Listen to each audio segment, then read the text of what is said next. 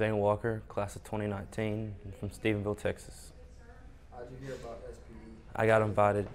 I got invited through Twitter, and Journey just hard work and dedication. What makes you the best at your position, and what skills do you bring to the football field? My ability to see the field and read the plays and recognize plays, and my strength and powerfulness on the field. Do you have any offers? What school do you plan on going to? I don't have any offers yet. I, I would like to go to at least Michigan, Ohio State, best good defensive schools.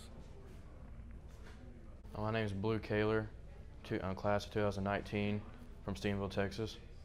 How did you hear about SPE? And tell me about your journey to get here. I heard about it on Twitter and then a buddy of mine. Tell me why you're the best at your position and what you bring to the football field. I'm a sideline, a sideline player, and able to recognize plays and powerfulness and my physicality. Do you plan on going to school? Any offers? Haven't had any offers yet, but I mean, I like all SEC, schools and TCU, A&M. Today, you think you can help out one of those SEC schools? yes, sir. Why?